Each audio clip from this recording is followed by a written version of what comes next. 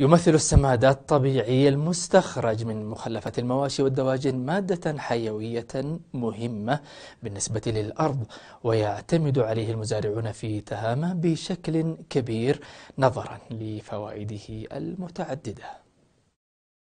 السماد مادة تضاف للتربة من أجل مساعدة النبات على النمو ويستخدم المزارعون عدة أنواع من الأسمدة لإنتاج محاصيل وفيرة.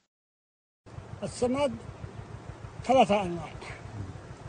الذم البلدي حق المواشي يفيد الزراعة وفي سماد يضر الأرض. هي حق المصانع هذا حق اللي يصنعوه صناعيا يضر. بينما السماد الطبيعي من المواشي والدواجن؟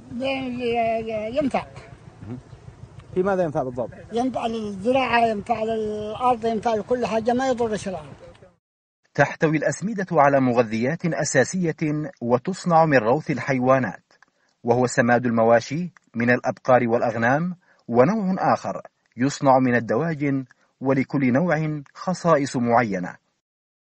سمد الدواجن إذا طرحت منه وكسره يحرق لك الزرع ويضر الأرض.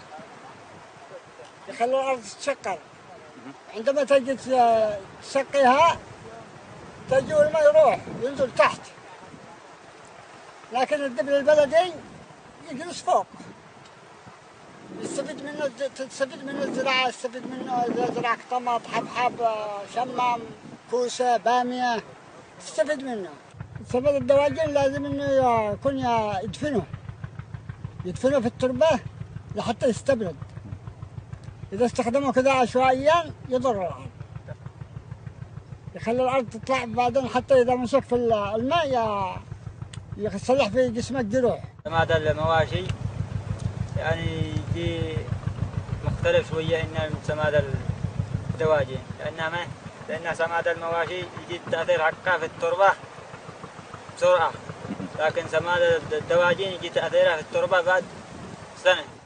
تكتسب الأسمدة أهمية كبيرة بالنسبة للأرض الزراعية والمزارعين ولكن لأنواعه واستخداماته طرق معينة يفقهها معظم الفلاحين بحكم الخبرة والتجارب التي اكتسبوها عبر السنين وتتفاوت أسعار السماد ويجمع باستمرار كسماد الدواجن الذي يباع بأسعار متفاوتة وهي في ارتفاع مستمر.